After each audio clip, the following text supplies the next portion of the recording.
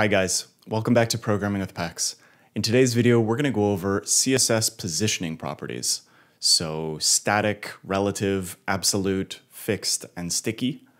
And by the end of it, you should have a really great understanding of what they all are and what they do. Let's get started. All right, so let's start off with a quick definition. So the position property specifies the type of positioning that's going to be used on an element and this allows that element to be placed around the website in different ways. Now, when it comes to positioning, there are two different types. The first is called static type positioning, and this tells the element to position itself in the normal flow of the document. So that's the natural position of block elements on the page. And if you'd like to see a video on display properties, I'll link it above and below right now. The second type is called relative type positioning. So what that does is it tells the element to be positioned relative to themselves or to their parent or to the viewport, which is the browser window. When you're positioning a relative type, you're going to be using what's called an offset. So that's top, bottom, left, right, and you can give it a set, you know, number of pixels, let's say 10 pixels left, whatever it is. A really important feature of relative types is that it creates a positioning context for its children. So, what does positioning context mean? In this graphic that I made, the purple box is the browser, the green box is a relative element, so that's an element that you have set a position relative on. And within the green box, we have a yellow child element, which is positioned absolute. Because the green element is set to relative, it sets a positioning context for any of its children. Instead of the yellow box positioning itself based on the purple browser box, it will now be positioned based on the green parent box. So if you say left 20 pixels, it will move 20 pixels from the left side of the green box and not the left side of the purple browser box. I hope that made sense. so we're going to go through the different positioning types one by one.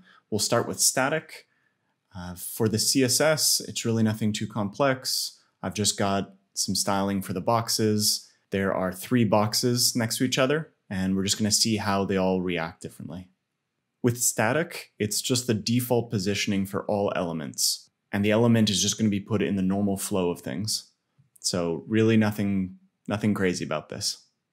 Next, we're going to take a look at relative. So it looks, it looks the same. However, there is one key difference. And that difference is that you can add an offset like top, bottom, left, right. So let's add a little offset and see what happens. Here we can see that the top of the element is being offset by 20 pixels relative to where it would have been in the normal flow. Notice that the positions of the boxes on either side have not changed at all. When you offset an element's position with position relative, the space that it takes up does not move and it won't affect anything around it. The offset that's being applied is relative to itself and where it would have been. Next, let's look at absolute. Now we can see things are a little bit different. So the absolute element is taken out of the normal flow and it leaves no space behind. What this does is actually allow the gray box that would have been here to slide over, where with relative, that space was preserved. With absolute, it disappears, and the surrounding elements will act accordingly. So the other gray box is actually just behind the absolute, the green absolute box. Another important distinction is that an absolute element will be offset relative to its nearest relative type position parent. That's a mouthful. So again, we're going back to the positioning context. So currently, let's say if I add some offset to this absolute, if I save now, it's going to be positioning itself based on the browser. So it's top, so it's you know top 20 pixels and right 20 pixels.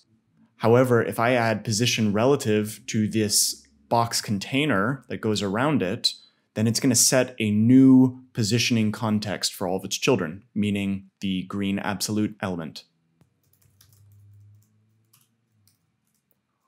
So you can see when I save that now, instead of the absolute element being positioned around the browser, it looks for its nearest parent that has relative, which is now this box container, and it's going to be positioning itself based on that. So top 20 pixels and right 20 pixels based on this box. Next, we're going to look at fixed. So with fixed, you can see that it has the same behavior as absolute, where it's taken out of the normal flow and it leaves no space. So these gray boxes, they're going to be pushed next to each other because there's no space in there anymore. However, the main difference is that the element is positioned relative to the viewport itself instead of its nearest parent that has relative type positioning. So with fixed, you can see that it's just going to stay at the top left no matter where I am. So this is often used for nav bars. And just like with relative and absolute, you can add offset. So let's say left 20 pixels. And now it's going to be moving over to the left 20 pixels or top 50 pixels, let's say. And anytime I scroll, it's still going to be fixed and positioned relative to the viewport, which is the browser window itself. Finally, we have sticky. So with position sticky, it's really a hybrid between relative and fixed position. The element is treated relative positioned until it crosses a specific threshold that you set. And then at that point, it's going to be treated as fixed. So in the styling, I have for the sticky, I have top zero. So when the sticky element hits top zero of the browser, it's going to then start becoming fixed. So as is, it just moves just like a relative position. And then as soon as it hits the top of the browser, it's going to become fixed, just like that. So you can see I'm moving up and down, I'm scrolling up and down, and it's basically position fixed. And we can set where that threshold is by just changing the top. So I'm going to set 200 pixels here. And so that means that at the top, as soon as it, it's 200 pixels away from the top of the browser, then it's going to become fixed. And that's 200 pixels. All right, to summarize, today we went over the different types of positioning properties that there are. The first is called static. So that's the default positioning for all elements, and the element will just stay in its normal flow. Next, we have relative.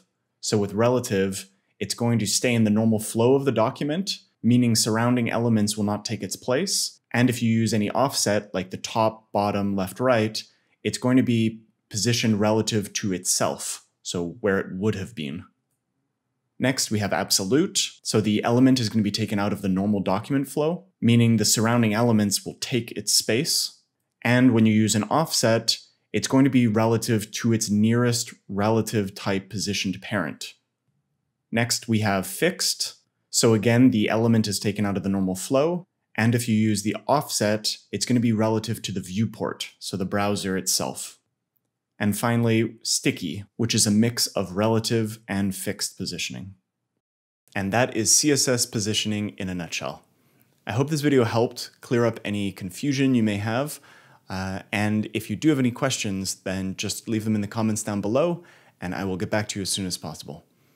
If you did find this video helpful, then consider dropping a like, as it really helps the channel out. And for the next bunch of videos that I'm going to be releasing, they're all going to be on these core fundamental CSS topics that can sometimes be just a little bit trickier, but you absolutely have to understand them. So be sure to subscribe for more content just like this. On that note, thank you very much for your time. I hope you're having a fantastic day, and I'll see you in the next one.